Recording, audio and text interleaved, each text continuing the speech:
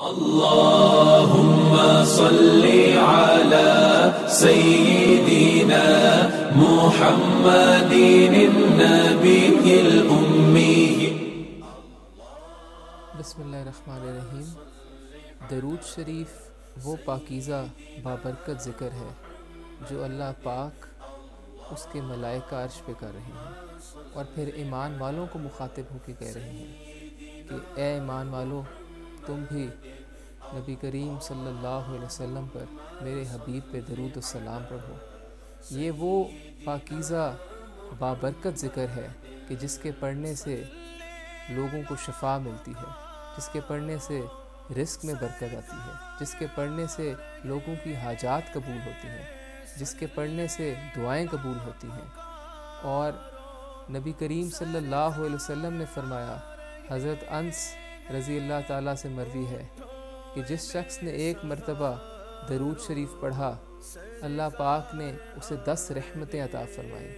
उसके दस गुनाह माफ़ फरमाए और उसके दस दराजात बुलंद फरमाए। इसी तरह से हदीस पाक का मफहम है।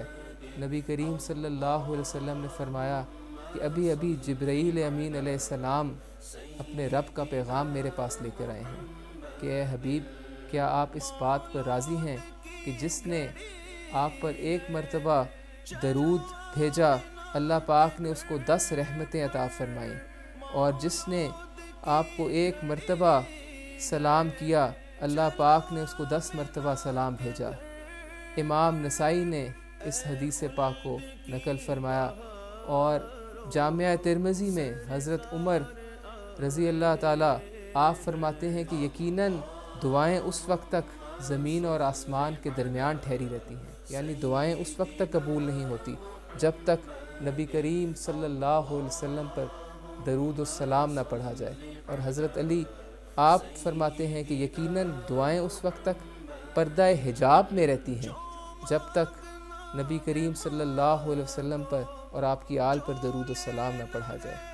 औलिया अल्लाह दरूद शरीफ के वजीफ़े, दरूद शरीफ का ज़िक्र, दरूद शरीफ का विरद करते थे और ये विरद बरकत के लिए करते थे। लोगों को तलकीन फरमाते थे, लोगों को हिदायत देते थे। हल्का दरूद सलाम हल्का ज़िक्र की मजालस करते थे और उसका मकसद ये होता था कि उस ज़िक्र की, मजलिस की बरकत के तो फ़ैल अल्लाह पाक तमाम आने वालों की दुआएँ कबूल फरमाए।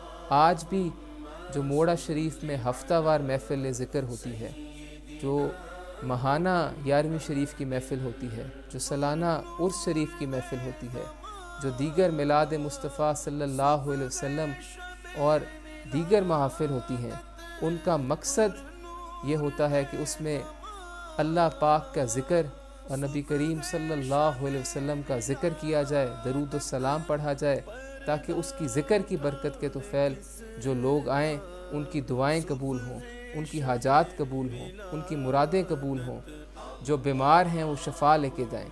जिस तरह से इमाम शरफुद्दीन बुसीरी रहमतुल्लाह को दरूद शरीफ की बरकत से शफा मिली, इसी तरह से हम भी यही आस्थाने पे दुआ करते हैं कि अल्लाह पाक दरूद शरीफ की बरकत से यही विरद अता करते हैं, ताकि अल्लाह पाक दरूद शरीफ की बरकत से, रहमत से सबके घरों में रहमतें अता फरमाए, बरकतें अता फरमाए, सबको शफा फरमाए, सबकी परेशानियों को दूर फरमाए।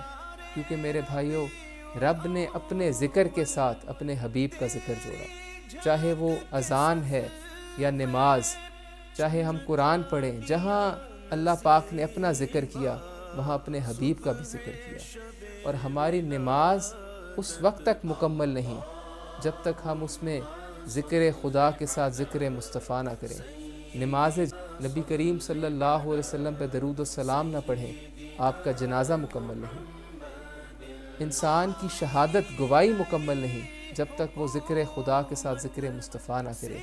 तो ये वो वाहिद वजीफ़ा है वाहिद ज़िक्र है, जो अल्लाह पाक और उसके मलाइका कर रहे हैं। और उसके बाद अल्लाह पाक ख़ास ईमान वालों को मुखातिब होकर कहता है। कि ए ईमान वालों, तुम भी मेरे हबीब सल्लल्लाहु अलैहि वसल्लम पर दरूद सलाम पढ़ो।